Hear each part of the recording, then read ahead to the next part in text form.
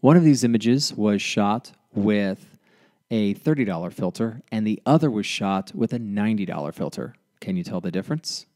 Today, we're going to be talking about UV filters and how and if they affect image quality. Let's get into it.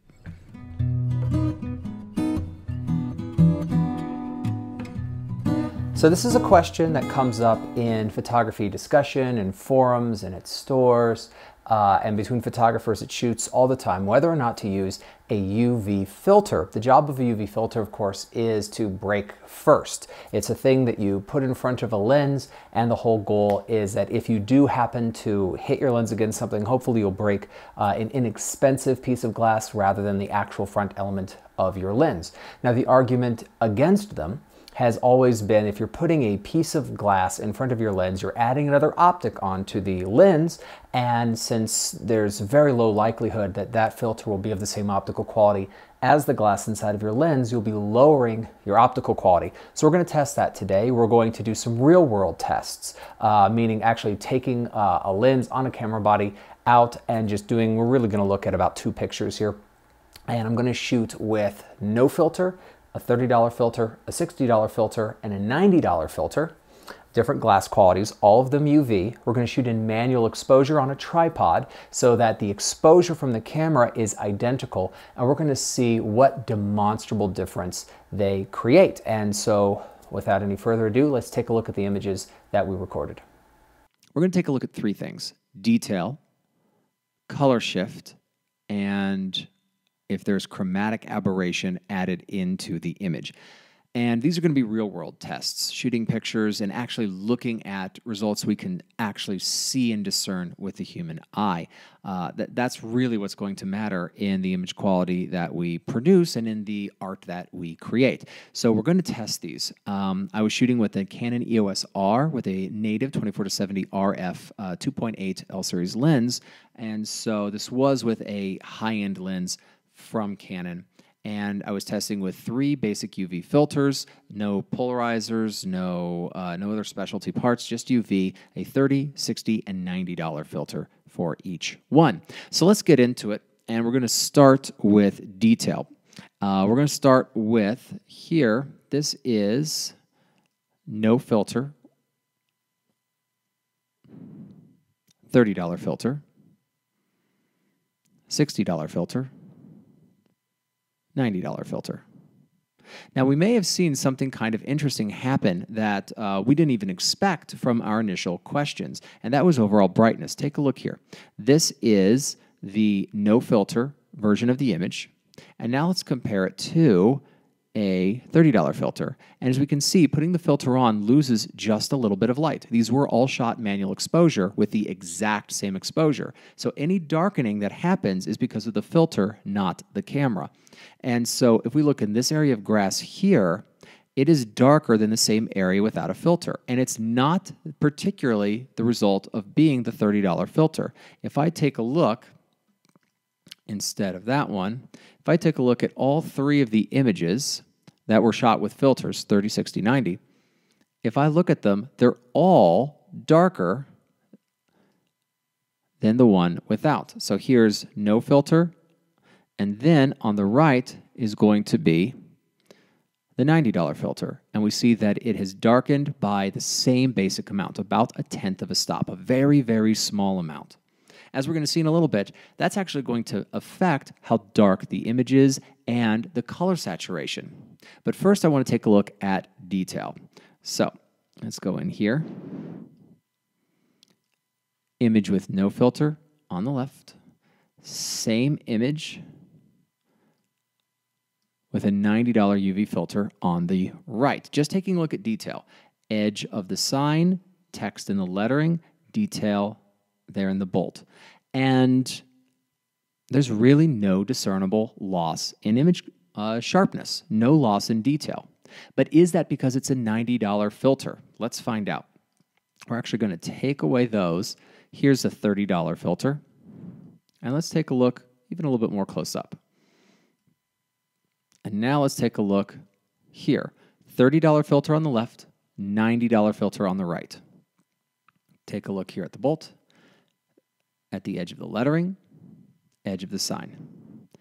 And you might say there is the most minute difference in the edge of the lettering up to the top of the O and at the edge of the sign there. But it is so small that it is nearly irrelevant. I had to look at these images about five times before I really saw that difference in them. So, the actual detail difference, what we really worry about with UV filters, is actually something that doesn't really show up. There's not a difference in detail. Let's take a look at another series. So, here is the $30 filter. All right. Let's do there. That's about 100%. Uh, maybe that far in. Yeah, that's about 100%. $30 filter on the left, $90 filter on the right. And if we take a look here, up here, maybe the smallest amount of difference in this area, but it is not significant. If I look at it here at this view, same level of detail and nearly the same level of contrast inside of the image. I would argue that the $90 filter has added a little bit of darkening and contrast in here. We're going to take a look at that when we take a look at color. So realistically, I'm going to say that the filter itself is not making any sort of a demonstrable difference in detail on the lens, which is mm-hmm. really shocking. I was not expecting that result. Now let's look at color. I want to take a look down here. Green, red, some browns, and grays. So, oops. Let's go in. All right. No filter. $30. $60. $90. Take a look at how deep the greens are. I'm going to go back. No filter, $30. $60, it just got a little bit darker. $90, it just got a little bit darker. The darker one shifted, the $90 filter shifted the image a little bit darker, which increased the color saturation just a little bit. You can see it in the greens as we go through. In fact, let's take a look at this $30 on the left, $90 on the right. So the $90 filter actually added a little bit of color saturation because it darkened the image ever so slightly. And so, without the filter at all, we are actually going to see a lower amount of color saturation here on the left than with a UV filter on the right. It's not dramatic. It was not even a fact that I noticed when I was shooting the images, but it did happen. So now let's take a look at chromatic aberration. And for that, we're going to take a look at the side of the sign. And I want to take a look here. So, no filter. We're actually getting the smallest amount there. And we're still recording it with a $30 filter there. So I would say it's not adding anything. If I take away the $30 filter and I add in a $60 filter, it's actually starting to remove some of that. Some of that small amount of chromatic aberration is actually being diminished by the UV filter. If I replace the $60 filter with the $90 filter and take a look, it actually has come back a little bit relative to the $60 filter. In fact, let's take a look at that. If I take those two away, here's the 60 on the left, the $90 on the right. If I take a look, the chromatic aberration is actually marginally less on the 60 millimeter filter. So we've had some really shocking results, things that uh, after um, a decade and a half in the photographic industry, I was not expecting that the UV filter is not affecting detail. It is affecting exposure by a little bit, and as a result, it's it's affecting color saturation.